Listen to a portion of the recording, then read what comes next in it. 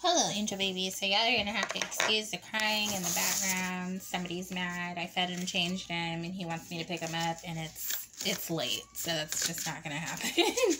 Because after this reading, I'm gonna go to bed. All right. So we're doing another reading I hate this is gonna be really personal for somebody, so just be prepared, okay? But we have purple, which is wisdom, bravery, lavender, supernatural mystery, wealth, and royalty. Okay, so you have like a royal air about you. You have an air of protection around you. Okay, um, and this is a new behavior. This isn't something that I think that you've had previously about yourself. Like, I don't think that you accepted like a certain part of yourself. Okay, I don't think that. um I feel like you've made it hard on yourself in a certain type of way. Um, my left eye is twitching. Good luck coming. So I also have a card that says, Don't force it just because you identify with the man made classification of what you think you belong to. Okay? Um, and then I have an example here. You are unique and you must act like you are. Don't force things to work. What will work will flow easily and without and will allow you to be fully grounded. Okay? So, what's for you is going to be for you Okay, nobody can take that away from you. Um, that is a proverb. I also wrote my own, which is like ketchup and mustard can go together, but it doesn't always have to. Okay.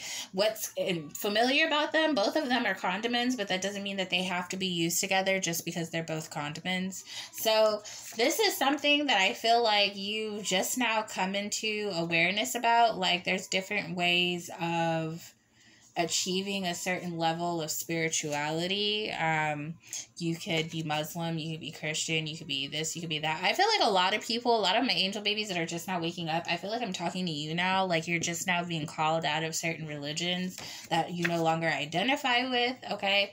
I have beekeeper so you have a strong work ethic, okay? Things you like to keep things in order, you like to stand your ground, you like to keep the faith all of the time. You're like a busy little worker bee. Okay? You know, like I don't know, busy for the Lord, I'm hearing. So this may be somebody being called out of Christianity. I said this was going to be very specific.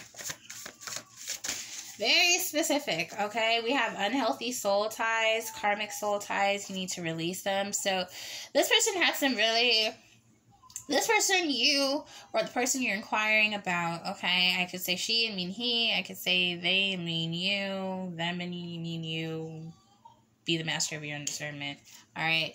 But um there's a situation here where somebody had an unhealthy soul tie with somebody and they released it all right? And what they learned from that was that you know there's different ways and lines of work, okay? Like spiritual work. I don't know if this is like career. I'm feeling like this is more spiritual than anything. There's different ways to achieve enlightenment. You don't have to do things the same way um, just because that's how you learned it at first, okay? Like it's like learning addition.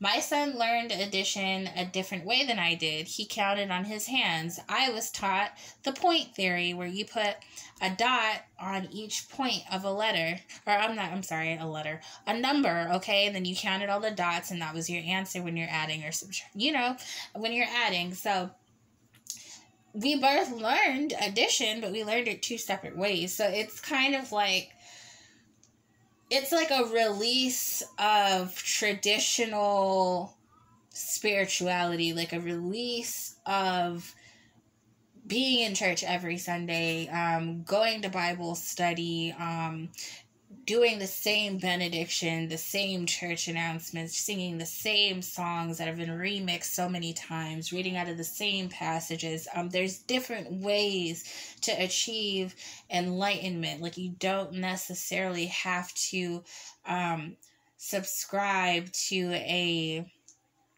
certain religion and the way that they do things. You can pretty much create whatever spiritual practice that you want. Okay, I think that is what um spiritual mystery is here is that you are royalty. Treat yourself like you are brave. Treat yourself like you have wisdom, okay? Because you can always learn something else, okay? Like treat yourself as if you are learning everything. Like you're learning. Just take in information, okay? Um also, some of y'all need to take in information on how to protect yourself during this transition because a lot of times when you come out, when you break away from the hive, I'm also hearing beehive, um, and you stray away from the norm,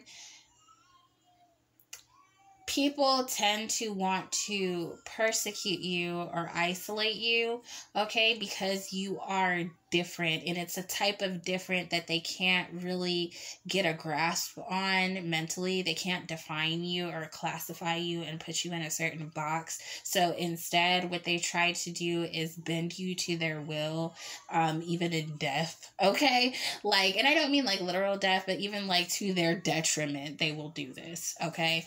Um, we have big magic here, okay? The angels and God are moving in to help you. It's happening now, okay?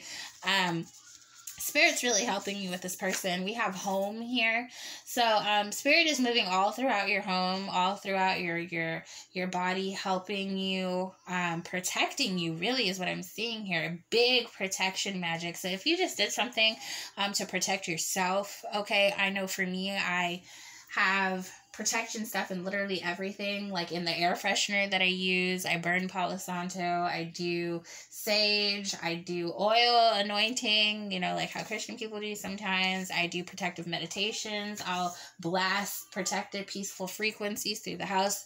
I'll do spirit baths, spirit showers, spirit water where you just spray it on you real quick, like, uh, uh, and then go about your day. Um, there's all kinds of ways. Crystals, like obsidian, I was saying in the last video, there's there's all types of ways to protect yourself, but whatever you have been doing to protect yourself as you are breaking away from this traditional mindset, okay? It is working, okay? It's working and continue to do that because you're going to need it, all right? There's a lot of solar plexus energy here, so a lot of you are doing a lot of manifestation or have done a lot of manifestation and it is um getting ready to pull through in the biggest way if you've been really praying for like this dream job or you've been praying for like find the perfect career for you if you've been praying about you know i don't know we have home here so finding a home or a place to live that's like affordable in a decent city low crime rate or whatever you know all of that is coming to you because you manifested it and because there was a death in the way that you used to protect yourself previously. So i'm seeing that you guys didn't protect yourself at all previously spiritually um and that is why you weren't able to manifest okay? So being in this karmic energy, okay, this karmic church, and I'm sorry, my son is screaming in the background, but um, being in this karmic church where you're kind of just like screaming out, like your spirit is just like yelling at you that this is not for you, or you're in this job and your spirit is just like screaming at you that this is not for you,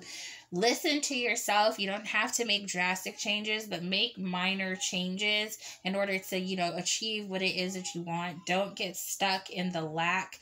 Don't get stuck at the end of your manifestation process where you've started to do the work, you've said what you wanted, you realize that there was a need for something in your life, and then you just get stuck on the release part. I keep saying that. I said that in the last video that oftentimes where people fuck up with the manifestation process is they don't release the lack. They don't release the negative. They always keep the need within them, and that keeps them greedy. That keeps them, you know, consuming things that they don't need to consume or taking things from other people that they don't need to take, is because they are stuck on the lack, the victim consciousness. Okay, so break that cycle and release continue to work on it, but don't keep thinking, I don't have this, I don't have that, I want this, I need that. No, get to the point where you don't need nothing. Get to the point where you're cool with what you have, okay? Because that's when you start to forget about the things that you manifested. That's how you know your manifestations are really finna kick in is when you have something good happen to you and you're like, oh shit, I did manifest that. I did write that in my manifestation journal about three months ago. I forgot about that shit already.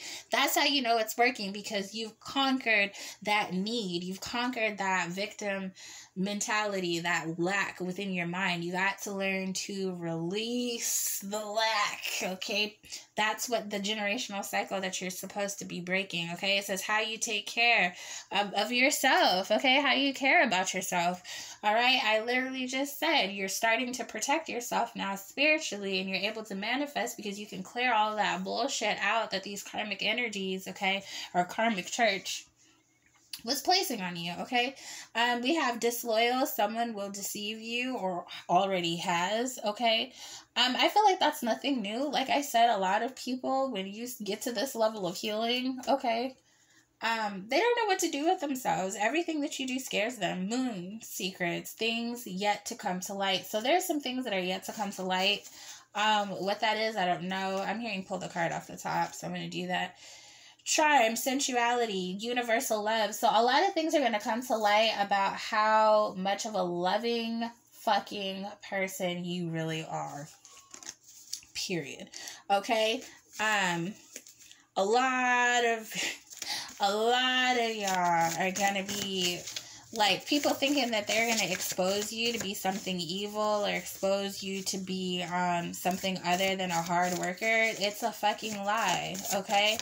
Um you worked very very hard. You kept your faith okay throughout all of this. So this is showing me angel baby that y'all had a horrible tough time with something and you were able to just stand your ground okay? You were able to you know cut off the relationships that you needed and that you you know wanted around you. For some of y'all like y'all fell into drinking and you overcame that Okay, you had several tower moments, okay, but you stayed and you clung to your higher self, all right? You learned whatever lesson that you needed to learn, all right? You also, so some of y'all, y'all had an attitude problem and you're learning to like love yourself and get on the right path so you can, you know, be in tune with yourself and not always make head over heart decisions. Because sometimes you do need to, I hate to sound like fucking Pocahontas and shit, but sometimes you need to follow your heart. That urge that you get when you know something's not for you and you're just like, oh, like, I don't know if I can do this. Don't force yourself to do it because when you force yourself to do something, like that shit doesn't pan out the way that you want it to. It's never gonna pan out the way that you want it to. You wanna know why? Because you're already putting within the ethers, within your spiritual, you know, bubble, that this ain't for you. So just realize that it's not for you. Don't try to make yourself force yourself into something or force yourself to have a relationship with somebody. You feel me? Um we also have prepare for new things. So some of y'all are starting off with a blank slate. You're starting off just fresh, okay? Fresh. Starting off fresh, all right? I don't know if you're going to be starting off fresh with this person. I do see scorpionic energy here. The emperor was here, so that is Aries energy okay? But some of y'all gonna be starting off fresh okay? Um for some of y'all y'all gonna be learning to trust yourself okay? Learning to um work on your root chakra those primal urges that you have. Um and you're just going to be learning to balance out. That's where that greed comes from. Like when you have a lack your root chakra and your solar solar plexus chakra really suffers because you're telling yourself that you don't have what you need to survive. Okay? That's that victim consciousness that a lot of people in my community have okay that we have to break the generational cycle of is feeling like we don't have what we need to survive. We're constantly working out of our reptilian brain, okay? Our, you know, reptilian aliens who destroyed other planets just for the sake of energy source, energy conducting, okay? Um, we, we, we still have that that that activated in our mind and it needs to be in tune okay? So whatever protection magic that you've been doing it has been helping you think clearer as well because you're not tied down by all these karmic people around you. And unfortunately, I'm going to hate to break it to you, but there's always going to be karmic energies around you that are going to be trying to drag you down because that's the soul contract that they signed. So I feel like that's also why we have universal love here because you have a universal understanding of like how things operate here physically, spiritually, mentally, like emotionally. Like you have a universal understanding of everything, of people, places, everything, okay? So you can also have empathy, not sympathy, but empathy for people that you know that's the soul contract that they signed was to be an asshole was to be a bitch was to be a cheater was to be a scammer was to be a liar was to be somebody that destroyed destroyed destroyed that's how they chose to help people. They said, I'm going to take on the dirty side of things so that other people within my spirit team can survive. And I'm going to make sure that they understand that they can survive, that you can do this. So, um, uh, this energy is really just asking you, okay, to trust yourself that you can break these karmic ties, okay? Release whatever it is that you need to release, okay? So if somebody has been disloyal to you in some type of way, release that shit, okay? Don't keep thinking about that shit. Don't keep bringing that shit up, basically, okay? Um, we also have third quarter moon, release and let go. I really can't make this shit up. Okay, that's the second thing I have that says release. We also have victory here and we have perfect alignment opportunity. So this is a perfect time to align yourself to success. This is a perfect time to make sure. Yeah, we have moon here, which is deception, fellow human friend. So there's somebody here that is trying to deceive you because they see that you have a blank slate. They see that you've grown. They see that you think a bit differently now and they kind of want to come in and express some hidden emotions and express. We have secret society too and we have home. Again, I didn't realize that there were two of these. Oh my god. Home. What the? I didn't realize that there were two of these that I made. What the hell? And we have Secret Society again, peeking its head out. So, what is this about a home? I'm hearing get tarot. So, let's figure this out. What is this? Justice is popping out. Okay, so some kind of justice. Something Spirit is wanting you to have. Like, when you release this karmic tie, I feel like a lot of you are going to feel so steady. Yes, I have the High Priestess in the upright, so I'm seeing things clearly. You're seeing things clearly. You're to have so much stability. You're to be so grounded. Okay um just continue to do your protection work. Continue to work on yourself because you're gonna be so grounded. That it doesn't matter who's disloyal to you it doesn't matter who's unhealthy like you're gonna be seeing the bigger picture like i said some people just sign you know another type of soul contract to be the personal one that fucks up to be the person in your life that causes you a lot of strife to be the person who did this did that so don't hold those things against them. Don't take that shit personally because that's what they're here to do. I have the high priestess in the upright again. Literally. Okay? Don't take that shit personally because that's what that person said. Yeah, we have unable to move. So somebody feels stuck. What is this? Why is home here twice? I've used this deck several times. The Fool. So somebody is not taking a risk here. We have the Fool in the reverse. Somebody's feeling stuck. Somebody's not taking the risk. Um, yeah, we have heartbreak here, and we also have the Nine of Pentacles in the reverse. So it's like um, somebody experienced like a loss, a major loss in stability. Okay, a major loss in um, possibly for some finances, or they lost like a fam. I heard they lost like family okay because of some situation here so you may be cutting ties with like karmic family members that you also go to church with you know what i mean like this could be family that you're needing to release with the king of swords here um for some of y'all y'all got family asking y'all for money and shit. Yeah for some of y'all y'all got family members that want to come in and ask y'all for money and you're just like yo like i gotta let this shit go. Like every time i turn around you know you asking me for some shit. Every time i turn around you asking me for some shit.